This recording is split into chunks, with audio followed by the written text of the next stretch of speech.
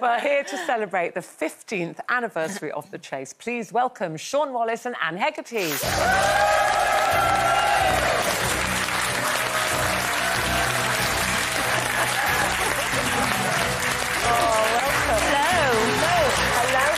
some time. Oh, that's all right. I'll... I'm not very good at getting on. There you they're go. Not, they're not, not the easiest, easy. Anne. Right. Do you know what? You even look scary walking out there. Oh, hello, Shaun. Hi, Coleen. How are you? Hello, I'm good, thank you. So, without the, the normal kind Yeah. of Yeah. at- attire. Um, just want to say, we were talking earlier about fitting in, and you know, if you're the new girl in town, new boy in town, you were on the very first series of the Chase. The world's first chaser. Yep. So, how did that come about? Did you see Well- advertised? Did someone contact you? No, what happened, I was contacted in the autumn of 2008 and asked to uh, take part in the audition for what was called an exciting new quiz show concept. And I'd actually retired from quizzing because I just lost the final of uh, Are You an Egghead on a rival uh, television channel. So they asked me 30 questions. I got 28 out of 30. They said to me, what am I doing quizzing-wise? So I said, um, well, I've retired. I said, oh, by the way, I'm on Are You an Egghead? They said, how did you do? I said, I'm not telling you. You want to see how good I am? You watch it. so I then walked out. So uh, when they showed me losing um, to um, on December the 2nd, 2008, the following day I was asked to go to a pub on a Gray's Inn Road. I walked in, I've looked to my left, I've seen uh, some ITV commissioners look to my right, and I've seen some contestants. We played the very first chase. Did it there and then in a pub? Yeah, yeah. Wow, That's amazing. wow. And then Anne, a year later. it was not a year. It was this next. Uh, series. yes, and I also took part in the second series of Are You an Egghead, and I ended up coming third, whereas he was 2nd Um, and um, I didn't sort of think much more about it, but what I now realise is that did kind of put me on the map.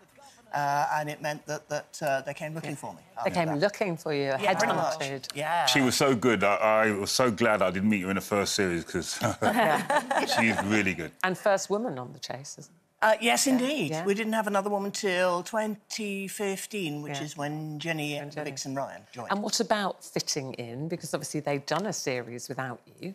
Well, I remember uh, saying to them, look, you know, I know we get paid per show, so when you have three chasers instead of two, obviously that means you all get less money, so I apologise. But they both said to me, look, you know, we we knew we had to have a female chaser, so you know, we are we are expecting that, you know, and you're good. Uh, and, and they were fine with it. I always say when you add a new person, you know, there, there, there's, there's this thought of, well, the pie is now going to be divided into smaller slices. But on the other hand, they may, the new person may actually be able to make the pie bigger. You know, he may make the show more popular, um, get more viewers, more ratings, uh, and, you know, the number of shows may go up and everyone gets more of everything. Yeah, And I certainly amazing. wasn't looking at the money aspect uh, because of the fact that I was looking at the quality of uh, the quizzers joining the team. Can I And, just um, add, he's a highly paid lawyer. He doesn't have to think about that. And um, it must be it must be great fun working with Bradley.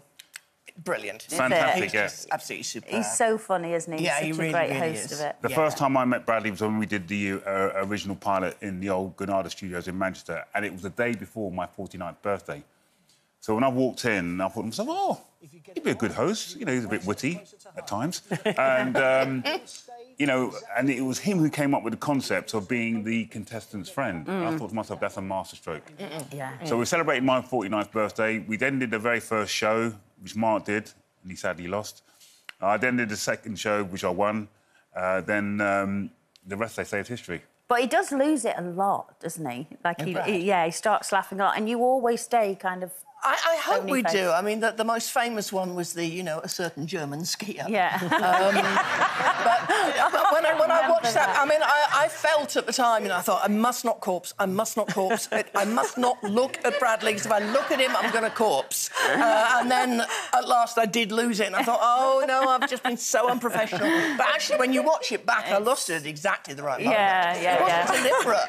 It, Yeah. just, it just worked really well that way. And I, I think that's what the show, uh, you know, uh, sort of catapulted itself into the national consciousness because the I was surprised that the question actually managed to get through uh, uh, the sort of censors, but it was such a wonderful question. And from there, uh, the public have uh, been totally addicted to it. And everywhere I go, no matter where I go in the world, were you uh, there with the Spanish fellow question? no, Dan. Uh, so, Oh, good. No, it's just I want to know about your names. How did you get like Dark Destroyer and the Governor? Like, how did that come about? Right, now, when I first started, I was called the uh, Legal Eagle, but then Bradley started calling me the uh, Dark Destroyer. Now, as I say, let me just make it clear uh, there was no uh, sinister overtones. Uh, I'm dark because I'm black. I destroy people because of my intellect. so that's the way I, I look at it. You were happy. You were happy with that. that. I love that. But the only reservation I had was that I was going to run into Nigel Benn who said, Oh, you need my nickname! Bosh! but I haven't run into Nigel Benn yet, so hopefully we can get him onto one of the celebrity versions, then we can sort of have a sort of Dark Destroyer sort of stare off. and, governor, and Governor? Um, I was originally going to be the headmistress, and then during rehearsals, Bradley started calling me the governess. And I said to the producers, I'd rather be called that. Right. Uh, I've given various explanations, but the truth is, I just feel that a, a governess is more of a free agent than a headmistress. She has got the freedom to be Mary Poppins, if you want, and I'm, I'm totally going to fly in with an umbrella. Oh, we can help you with that. Do that. Don't take my job. So, guys, we're up against you in the NTAs. How do you think you're going to weather? Uh, you beat us last year. We're not having that again. Yeah. and, and you've got two chances We need to win. slim and none. Okay, That, that's fighting Girls, pick up your mugs. Okay, Shaun.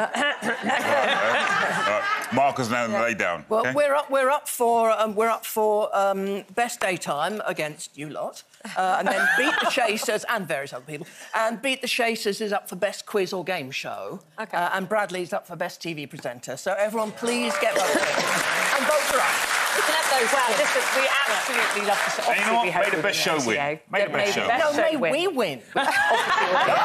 Competitive much. The anniversary episode, so 15 year anniversary episode of The Chase is ITV tonight at 5 pm. They're not even allowed to tell us what's going to happen. It's so exciting. Well, if you looked at this sort of uh, clip, you'd be able to work out who the uh, two are. Yeah. Okay. Well, How are they going to win? We're They're not, not going to win against We're not going to give it away. give me- no, not not Keep, two at the same time. keep watching and you will understand. Exactly. Right, okay. Listen, And you've got to come on, lovely Kel. to have No, I'm Yes, so bad. Lovely to have you both here. Please thank Anne Hegerty, the governess, Shaun Wallace, the Dark Destroyer.